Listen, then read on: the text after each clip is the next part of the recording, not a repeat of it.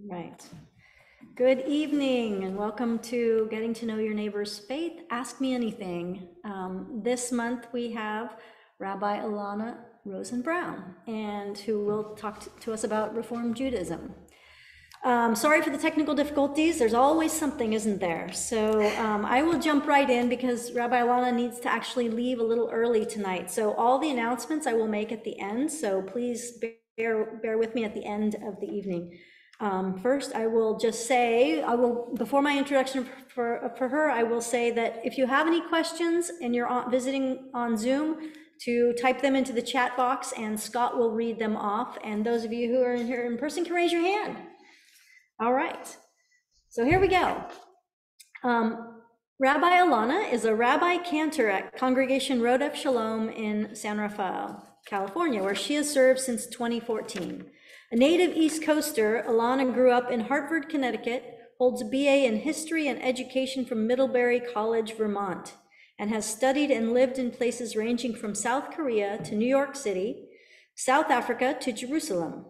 In addition to her ordinations and degrees in sacred music and Hebrew literature from HUCJIR, Elana is currently pursuing a master's in integrative health studies at the California Institute of Integral Studies.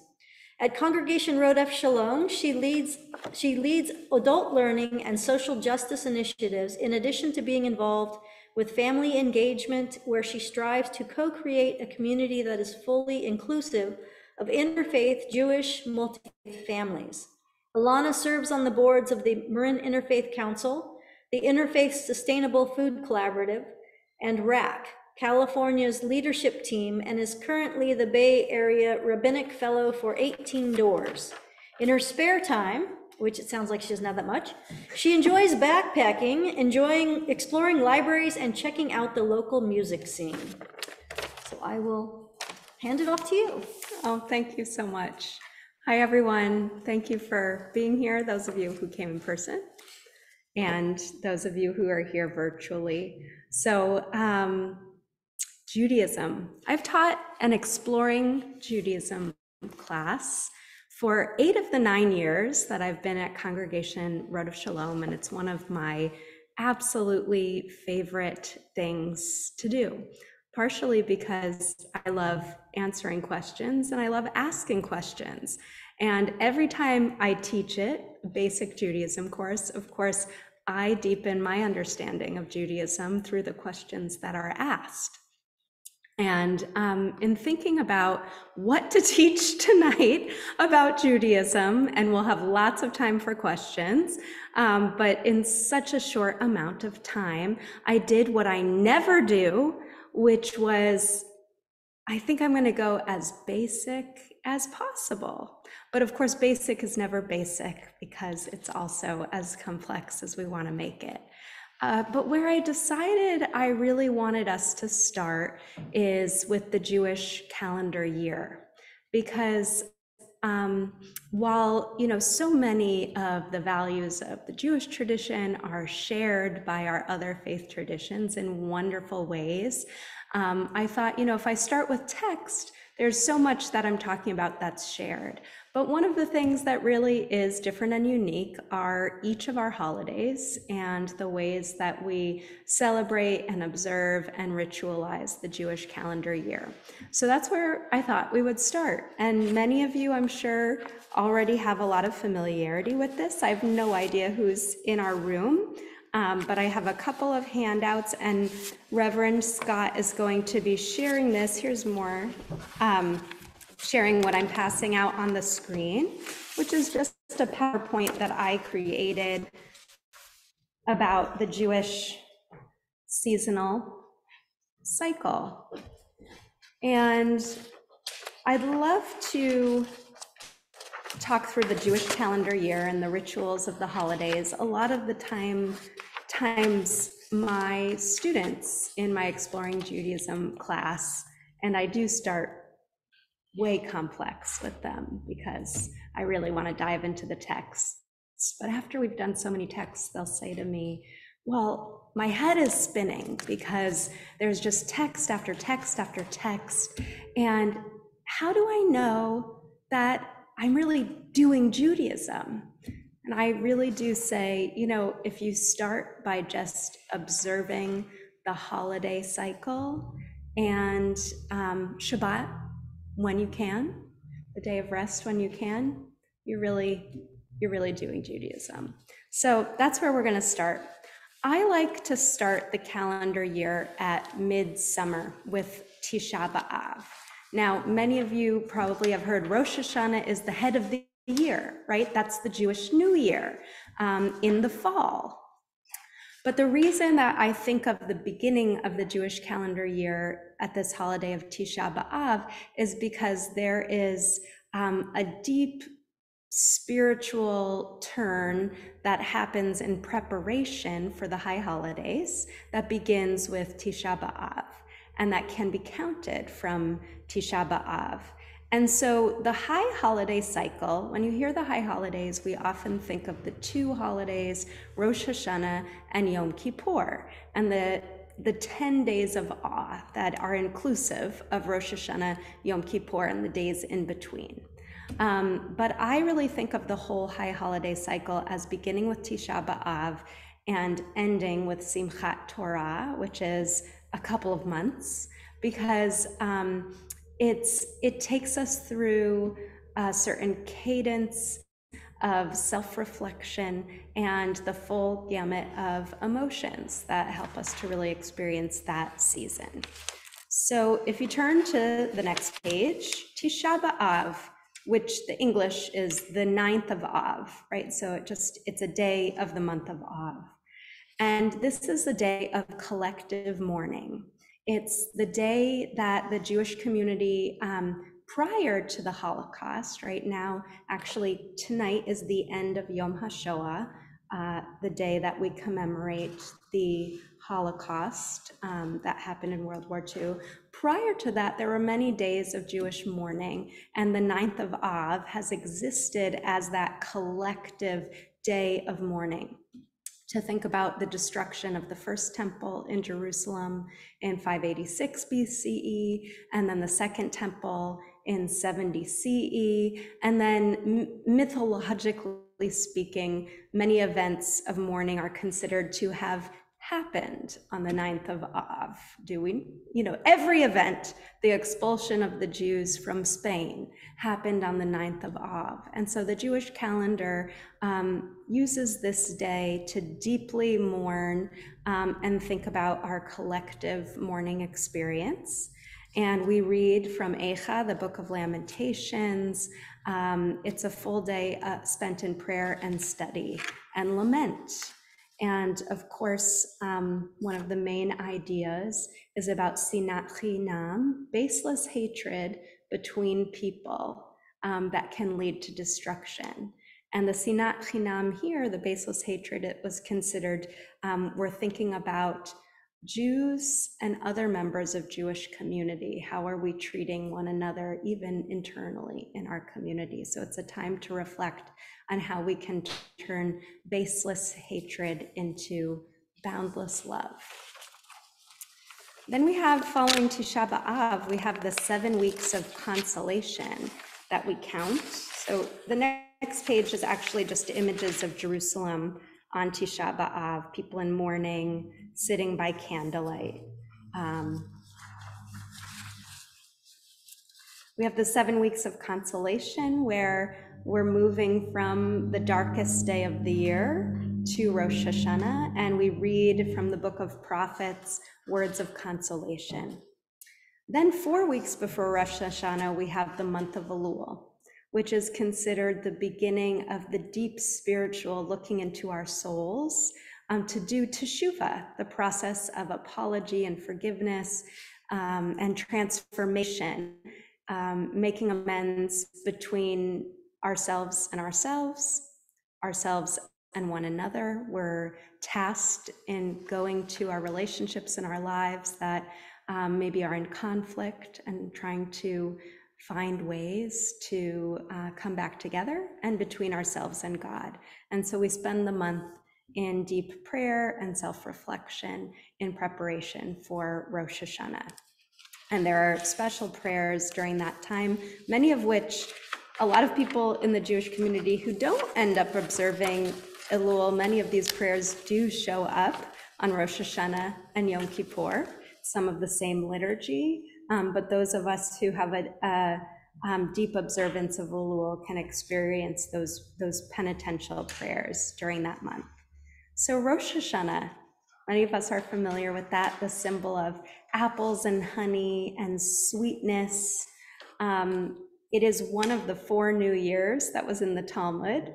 Um, others are, include Pesach and uh, Tu B'Shvat, but really most of the Jewish community nowadays thinks of this as the beginning of our calendar year. And I love that as a scholar who always is in school because it's also the beginning of the school year. So I will never not think of it as the beginning of the year. Um, Erev Rosh Hashanah is, um, sorry, Rosh Hashanah is really a synagogue-based holiday, right? So, so many of our holidays we can observe in our homes.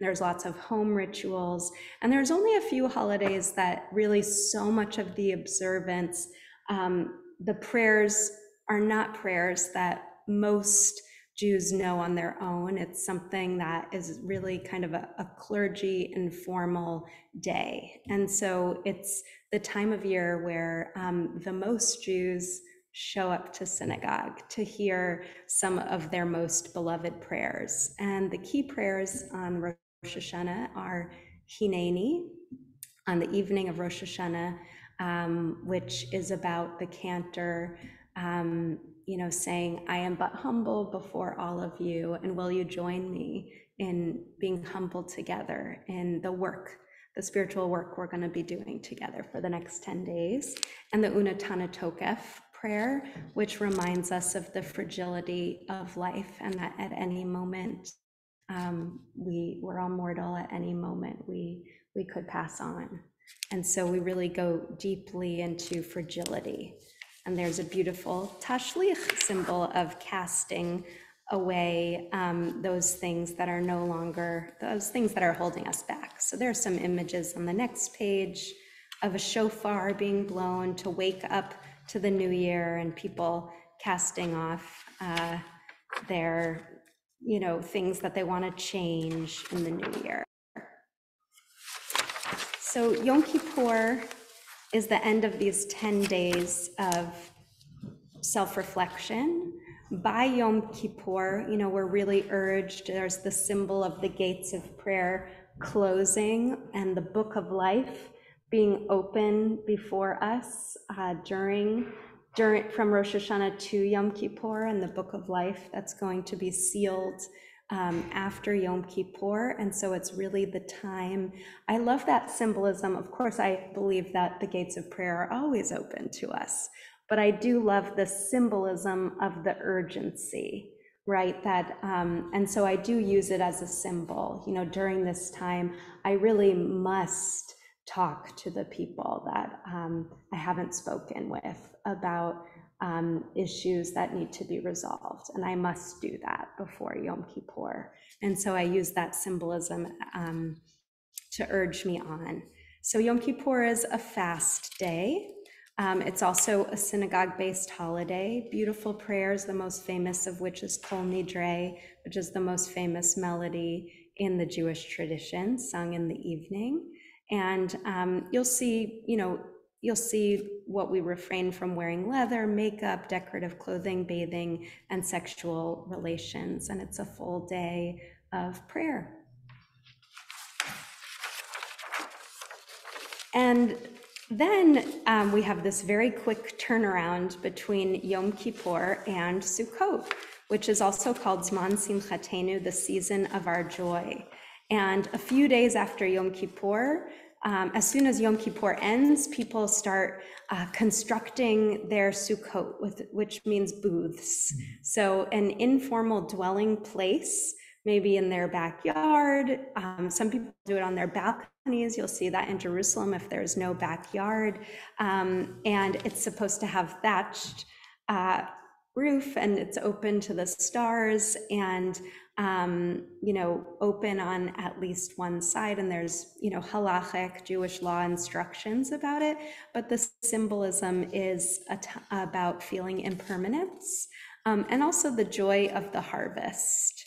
And so there are only two mitzvot. Mitzvot are commandments um, for Sukkot, one of which is to dwell in the sukkah, right? To to sit there. You don't have to live there all eight days, but some people like to sleep in their Sukkot, um, which I think is a beautiful tradition. And the other is to shake the lulav and the etrog, which you can see on the next page. So there's an image of a sukkah, and um, the etrog is the citrus fruit, and then there are three species that form the lulav that you shake um, to remind us that we're all interconnected and that divine is everywhere. And after these eight days, so we've gone from like a day of deep contemplation. And Sukkot is known as like the happiest holiday. We're supposed to be in jubilation. And Simchat Torah is really just a holiday um, celebrating the Torah. Um, it's at the end of Sukkot. And um, it's when we end a cycle of reading Torah, the five books of Moses. So we're we read the last uh, Torah portion in Deuteronomy, and then we begin again. And so we dance with the Torahs. You'll see on the next page people pictures of holding Torahs, and it's very customary to unroll the entire scroll of the Torah so that people, many people, especially in the progressive Jewish world, have never seen the inside of a Torah scroll. And so it's a chance for everyone who shows up to see the inside of the Torah scroll and to learn a little bit more. Hanukkah, you've probably heard, or you may have heard, um, sometimes we we Jews say, oh, it's really just a minor holiday, but it's become a big deal in America because it's proximal to Christmas and it's become a commercial holiday. And it's it makes Jewish kids feel good that they have something to when they don't have Christmas. Um, I would disagree with that. I never say that it's a minor holiday because it's so beloved in America. And I think that's important. If everyone wants to celebrate Hanukkah, and it's one of the most celebrated of the Jewish holidays, Passover is actually the most celebrated Jewish holiday in the world for those who don't celebrate every Jewish holiday. A lot of secular Jews, of course. Um, and then Hanukkah and Yom Kippur are the next ones. So people love Hanukkah, make it a huge deal. Why we say that it's only a minor holiday is because it's not a holiday that was commanded to us in the Torah, right? It's from the book of Maccabees and was later talked about in the Talmud. So because it's not a Torah holiday and kind of emerged later, it's not one of the big ones. Um, but I say it's important, really celebrate it. The only thing you have to do on Hanukkah is eat fried foods and light your, it's actually a Chanukiah because it has nine. We always call it a menorah. Technically, a menorah only has seven. But if you say, I'm going to light my Chanukiah most people think that you sound crazy because they always call it a menorah. So I call it a menorah too, because that's what, what most people call it. And um, some of the themes on Hanukkah, Hanukkah, of course, means dedication. So it was the rededication of a temple that was desecrated by the Greeks. Um, so there's a lot of themes about what does it mean to be a minoritized people who has a choice either to assimilate or to find ways to retain their customs. And um, we're lucky enough in America to be able to retain customs in a relatively safe situation. That hasn't always been the case. So it's really, I think of it as a celebratory holiday of the freedom to observe religion in safety and to have that religion honored. Then we have Tu B'Shvat is our next holiday, which usually happens around the end of January, beginning of February. I think this like this should be the biggest Jewish holiday because it's our ecological holiday. It's the new year of the trees. This is also a holiday from the Talmud. It was one of those four New Years that was prescribed. And um, for years, we didn't know, we, my ancestors 2000 years ago didn't know you know what did this mean okay there's this tu b'shvat so it developed over centuries how do we ritualize jewish earth day or the new year of the trees and um, in middle ages the kabbalists the jewish mystics um, decided to do a seder seder means order but it's really from kind of the um, you know a greek symposium style um, dinner where um, um, so Seder, like the Passover Seder, they kind of took it from that and said, let's do a Seder also for Tu B'Shvat, where we eat four different kinds of fruits. Oh, I'm sorry, three different kinds of fruits, and we drink four cups of wine, and we're going to include cosmology from the four worlds of the Jewish mystics. So it's this mystical uh, Seder experience to celebrate the fruits of trees. And it's really quite a beautiful, beautiful tradition. And you'll see on the next page trees. You'll see a picture of a Seder table set up for Tu B'Shvat. Um, it's a custom to plant trees or plant in your garden. Our next holiday is Purim. For shorthand, I, I call it the Jewish Halloween. More people more on the Orthodox spectrum wouldn't like if I said that, but I don't care about that. And so um, think of it as the Jewish Halloween. It's when we dress up and we read um, the book of Esther. Um, which is a very interesting book. Also, you know, as you know, it's from the writings of the Tanakh. Um, and it doesn't mention the name of God in it. It's really interesting that it ended up being included in the canon. And it's actually a comedy. I mean, it's a tragedy and a comedy. It typifies the Jewish experience of turning tragedy into comedy, of making jokes out of genocide, really. Um, so this the story is about a genocide that almost happened, but was overturned and then the Jewish people get to celebrate. So, um, but it really, when they talk about it from a literary perspective, um, because of where it was written in Persia, um, and it, it, the author um, was familiar with um, Greek literature, and so there are elements that you can see of a Greek comedy. Um, so there's purposeful hyperbole, and there are four mitzvot of Purim. You have to hear the Megillah being read, right? You've heard the, you know, there's a phrase, the whole Megillah, right? I actually just heard someone say that on like a sitcom, and it wasn't a Jewish character. So I know it's out there to describe. Um, it's everything, inclusive of everything, right? The whole Megillah. So you have to hear the whole Megillah being read. You have to drink before you until you don't know the difference between evil and good, between Haman and Mordechai. You have to give tzedakah, so give charity, gifts of charity, and send people um, packages called mishloach manot of um, cookies that are hamantashen, the three-sided cookies, or just lovely packages of food. And so you'll see all of this on the next page and there are carnivals for the kids, and everyone's dressed in costume. And there's often a Purim spiel, which is a play that, um, you know, a play that dramatizes the story of Esther. And of course, even though it's, you know, very festive, and I do think it's indicative of how the Jewish tradition has tried to laugh at our suffering over the years, um, there's of course very deeply important themes to talk about. Um, you know, Esther in the end finds courage to stand up for her people and to say to the king, I am Jewish. You didn't know I was Jewish, but I'm going to tell you that I am Jewish and reveal that at the risk of her life.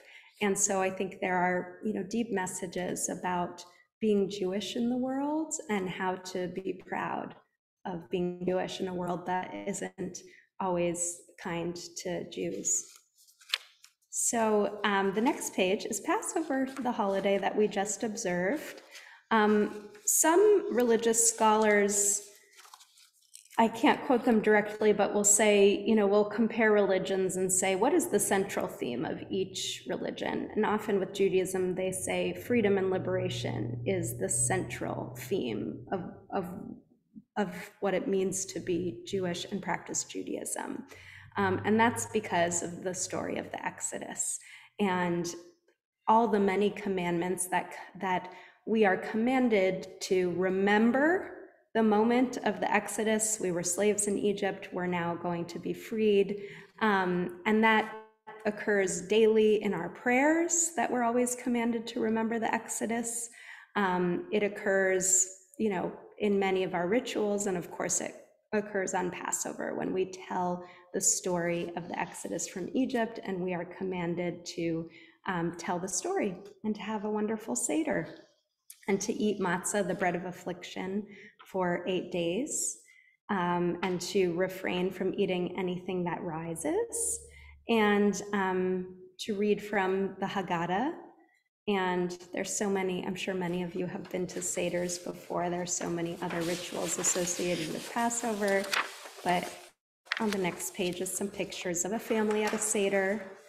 Um, and this is one of the, the holidays you've probably seen as we've gone through the Jewish calendar, um, which holidays, which of the many holidays can really just be celebrated at home without an institution. And this is the, this holiday, Hanukkah, you don't need to go to the synagogue. You're, you're celebrating with your family at home. From Hanukkah, not from Hanukkah, from Passover, we're in this period now, to Shavuot, we have the period of counting the Omer, which is on the second evening of Passover, we count 49 days. Because in the Torah, it tells us that from the time of the Exodus in Egypt, there were 49 days before uh, we received the Torah on Mount Sinai. So the only custom, but I think it's a beautiful custom to count each day, is to say a blessing each night. And the blessing is, you know, I bless you, Adonai, who commanded me to count the Omer. And Omer is a sheaf of wheat, a method of counting. Um, and then you count, you literally count the day that you're on in Hebrew. And you're counting up to Shavuot, which is the holiday of commemorating receiving the Torah on Mount Sinai. I skipped over Lag BaOmer, which I won't talk about. It's just a very fun day to have bonfires, and it means something within the counting of the Omer. It's the 33rd day of counting. So Shavuot, we celebrate the receiving of the Torah, and um, we celebrate it by chanting from the book of Ruth. And it's we have a Tikkun Leil Shavuot. The main thing, this is my favorite holiday, because the main thing to do is to study all night long and to eat dairy. And I love cheese, so I just think it's such a fabulous holiday. Study all night long and eat dairy. And in um, in Jerusalem, it's wonderful because people there, all of the houses, so many houses are open. You can wander the streets and just wander into a house, and somebody is there teaching text. And um, you can study there, and then you can go to another house to study, and you can wander the streets studying all night. And then at about five in the morning, everyone starts walking towards the old city to be able to pray Shacharit in the morning. Um, Shacharit is the morning services. So those are the primary um, religious holidays of the Jewish calendar cycle. I didn't mention um, the civil holidays, which one of which was Yom HaShoah, which we just observed, the commemoration of the Holocaust. And then um, the holidays coming up next week, which are um, Yom HaZikaron and Yom HaAtzmaut. Uh, they're you know primarily holidays in Israel to observe fallen soldiers, um, kind of like M- Memorial Day and um, Israeli independence. Yom HaAtzmaut is also called El Nakba, the um, the Nakba, the catastrophe for the Palestinians. So I wanted to pause there for, I don't know what time it is, yeah, for questions about the holidays. Do we have any questions online? Let's go ahead and jump right into those. Um, well, first, a comment. Uh, thank you, Rabbi Elana. This is so rich. Uh, you make me feel that I would love to be a Jew. Um, and then a couple of questions. Um, is a secular Jew like a secular Christian?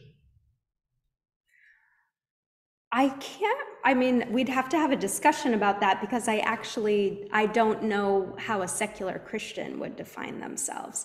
Um, but I can just talk about it from the Jewish perspective that Judaism is often talked about. Well, it's a religion, but it's also a people, the Jewish people. It's a peoplehood. Um, it's an ethnicity. Um, it's a culture. And at times in history, it has been a race because that's how the Jewish people have been defined by others at times in history. And so um, you don't have to, if you're Jewish, you don't have to identify with all of those um, characteristics of being Jewish. You can say, I'm Jewish, and identify with the culture, or the ethnicity and not at all with the religious aspects of being Jewish. This is something that often confuses members of other faiths. But when we say secular Judaism, um, it usually means someone that's not, obser- not observant religiously or even at all, right? So there are Jews who might identify as they're they are Jewish as a religion, but maybe they celebrate three of the holidays. And that's what they do Jewishly during the year, but they but they're Jewish. Um, and that a same person might call themselves secular if they only celebrate three of the holidays, because they might be celebrating that um, in a cultural way. So, yeah, I don't know if that helps or confuses, um, but a secular Jew is someone that deeply identifies as Jewish, but may not be observant of the rituals. Yeah, keep going. Um, how do Jews keep those who have died in their prayers and memory? Um, sure. So, um, you may know about the mourning rituals of Judaism. So um, after some after a person dies, um, we have rituals of Taharan Shmirah, of guarding guarding the body. We're really guarding the soul before the person is buried. We're we're protecting the soul that is reluctant to leave the body. And we say prayers and psalms and the body is cleaned and buried. Um, after the body is buried, we observe a, a week of um, Shiva, where um, that's the most intense period of mourning. And um, a person usually is in their home and they receive guests. The mirrors are covered and the door is open um, because as supporters of the mourners, we're not supposed to ask anything of the mourner because their sole task is to be in mourning for seven days. Um, after the seven days, that person will get up and walk around the block, symbolically saying they're ready to re enter the world. But then there's a period of shloshim, which is 30 days of mourning. There are certain rituals, um, like saying the Kaddish prayer is a mourner's prayer, which we say for a full year every day. Um, but also during these days of Shloshim, we might study a text in our loved one's honor. And um, we still observe, you know, we don't celebrate during that period of the 30 days. Then, after the 30 days, we can go back to certain celebrations, but we're still saying Kaddish every day for our loved one. And so the period of traditional mourning is considered to be over after the first year, but then four times a year, we have prayers called Yizkor, where everyone who's ever lost someone can come and it's a collect it's a service of mourning. So that's four times a year. Um, and then on the anniversary of your loved one's death you um, you find a minyan a group of 10 people or come to a synagogue to say the kaddish prayer to remember your loved one. And the kaddish prayer is considered um, also to be a way of accompanying your loved one's soul to its next iteration. I'll jump in with a question. So, um, do, do Jewish people not, do you not do cremation? Traditionally, we don't do cremation. Now, today, a lot of Reform Jews, especially, um, might ask for that for various reasons. It's less expensive than a burial. Um, they might, you know, think it's more environmentally friendly. Um, but traditionally, Jews are not supposed to be cremated. And we, as the Reform movement, you know, it's really our job to, um, you know, to be as inclusive as possible. So if someone wants to be cremated, that's their wish. And we think the, you know, the highest form of the mitzvah, it said that the holiest mitzvah is the mitzvah of burying the dead because it's the one deed that we cannot receive anything in return. Um, and so to honor our loved ones' wishes is the holiest thing we can do. And so for us, if the loved one's wishes are to be cremated, then of course we would, you know, say, yes, of course. Traditionally, Jews and Orthodox Jews um, would say if someone's cremated, then we won't say Kaddish for them, or, you know, it, it's very strict. We won't observe other laws of Judaism with mourning. Yeah. Are there more questions? or- Yeah, keep going, keep going. I mean, Uh, There are comments and questions and a request. So um, I'll start with the, just go in sequence. Uh, The comment, um, basically, would it be fair to say that Judaism is more like a way of life in contrast to what one believes? Where in some religions, it's more about what you believe and leaving certain things uh, about faith, where Judaism is more of a way of life. I'll answer in a very Jewish way. Could be, maybe. Answer a question with a question. It's something you might hear a lot, right? That Judaism is a religion of action and other.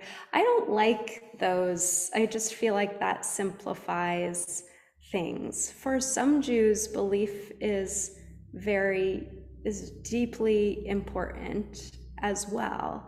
Um, but yes, I would definitely say Judaism is a way of life, um, and then how an individual Jew interprets what that way of life is, whether they're led by faith and belief or whether they're led by um, action, mitzvot, the commandments. I think when people say that, it's because um, as Jews, we are welcome to question, like questioning is the center of what it means to be Jewish. Question everything, and you can argue with God, you can question God, you can be an atheist, it doesn't matter, you can still be Jewish.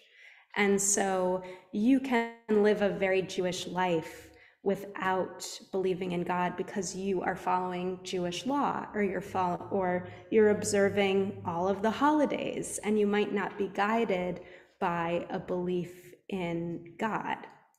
But many Jews are guided by a deep belief in God or a deep faith. Well, actually, that leads into one of a later question that I'll just go ahead and ask now, that's all right. Uh, one of the questions was, how would you describe in your own words what God is to you and what difference that makes in a day in your daily life? Well, how I described God changes all of the time.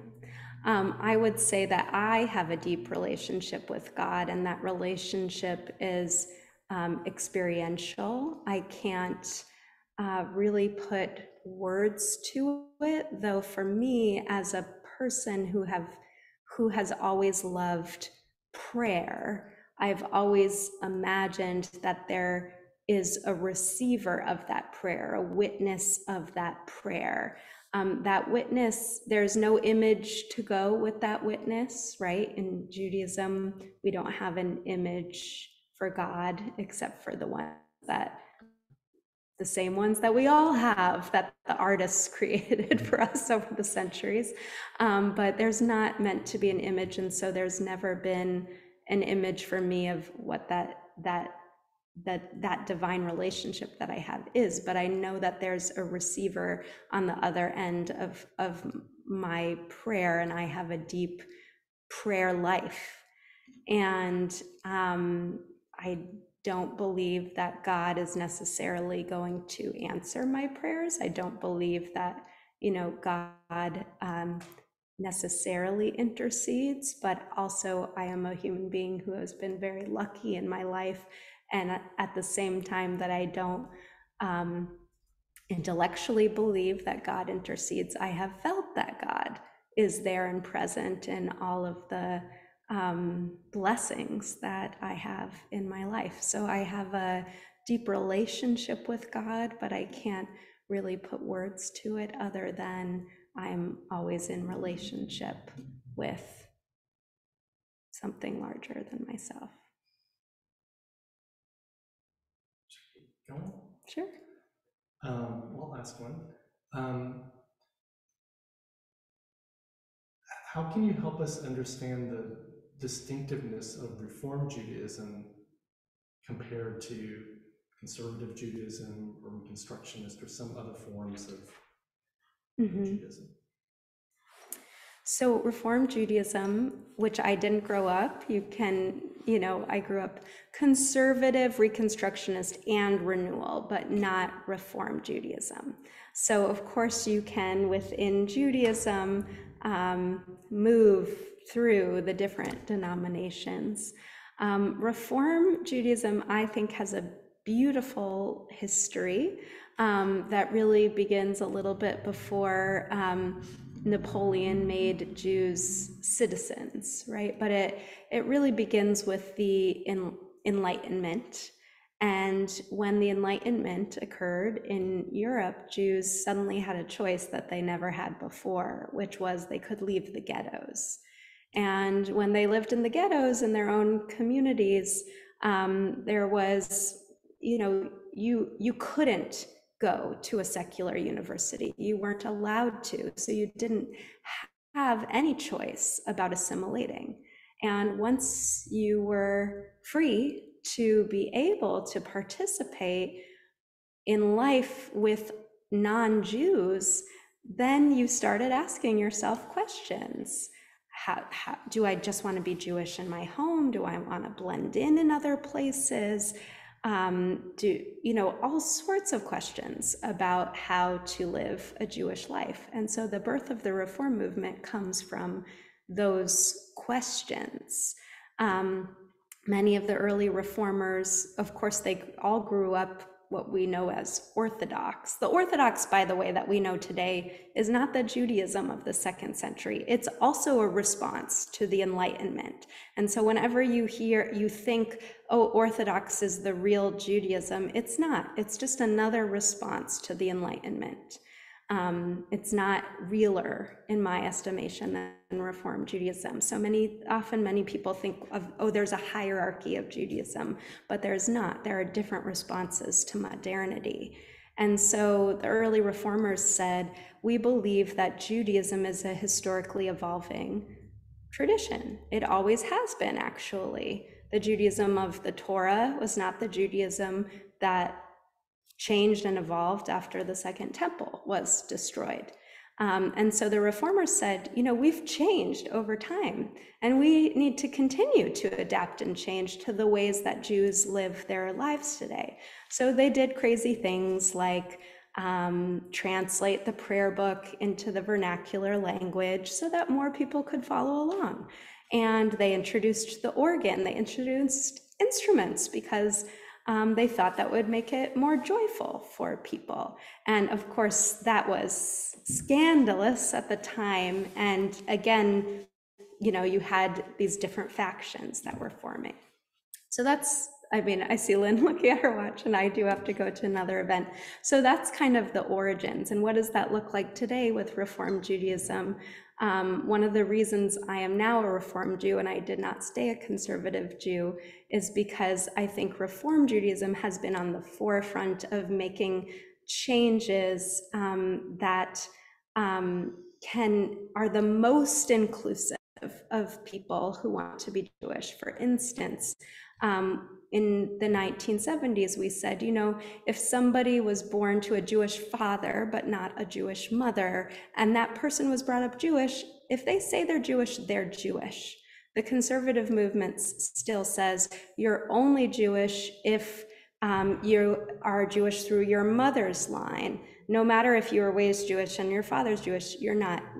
But there was patrilineal descent at one time in Jewish history. So um, if I talk too long about this, my real opinions will show. Um, so maybe that's bad. But um, you know, we also say, you know, interfaith marriage is a, is a good thing. It's a way for there to be more Jewish allies in the world, um, and other. So these are some of the ways that we are we are different and have evolved to meet the needs of today's Jewish community in ways that other denominations um, will, like the conservative movement will in 20 years, probably. Should I name the, re- we get a question? Oh, I don't have any questions. I was going to say, I want to be respectful. She needed to leave early and you're already past where you thought you needed to leave. And it sounds like there's a ton of more questions There's- or, There was a request. okay. I'll hear the request, and I'm so sorry, we have an event at Kol Shofar tonight that was scheduled at the same time, so um, I'm so sorry that I have to leave. What is the request? It just said, um, knowing that you're also a cantor, is it allowed for you to sing a text for us? Oh, yeah. You can sing at any time in Judaism. I have to check. Okay. Um, hmm. That's a. Yeah, I do want to mention, first of all, I want to thank everyone for being here. And um, of course, this was only a, a taste. I had all of these other, Scott, you're welcome to share, send out to people a list of Jewish values, which um, with their corresponding Torah text, and many of the values, again, they're values of Reform Judaism, but you'll see they're common to your traditions as well. Um, and so I'm sorry we didn't get to that, but I know we could only do a little. And I'm always available. You can always um, send me emails or ask me more questions at ilana at. And feel free to contact me with questions anytime. The more, again, the basis of Judaism is keep asking questions, keep challenging, um, and stay in dialogue with one another. So I hope that we'll stay in dialogue together. Um, and we'll end with Olam Chesed Yibane Yadadai Yalai Yalalai Lai Olam Chesed Yibane Yadadai Yalai Yalalai Lai Olam Chesed Yibane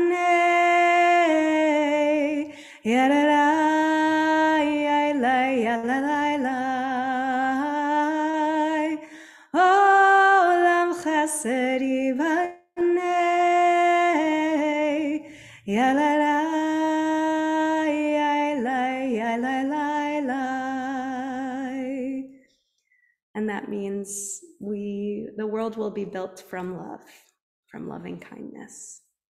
So may it be so. Kemi Ratzon. May it be so. Thank you. Thank you, everyone. Thank you. And I'm so sorry I have to needs to run, but I want, hope you stay on because I have a few announcements that I want to make, um, which I have to grab. Um, so let's see. Uh, This program, as many of you know, is an, a Wednesday, third Wednesday of every month. Next month, we have um, Gloria and Bob Reese from the Church of Jesus Christ of Latter-day Saints. So um, come join us the third Wednesday of next month. That's in May. And then we have our first Wednesday, Release into Peace with Annie. The second Wednesday, our May meditation is with Ashley Reed, who many of you know. Um, She used to work for MIC. So um, come join us for that. Um, Big, big before that even is our um, prayer breakfast. So that is Wednesday, May 3rd, from 8 to 10 in the morning at Congregation Kol Shofar in Tiburon. And you can uh, register for that through our website, um, which is marinifc.org. And you can also make a donation tonight if you'd like to. So um, that's all my announcements. But thank you for joining us and uh, look forward to, again, a wonderful uh, speakers, speakers. We have two of them next, next month. You won't get to watch me up here. I'll have to sit over there. All right. Well, thank you for joining us and thank you for joining us in person. Blessings. Thank you so much.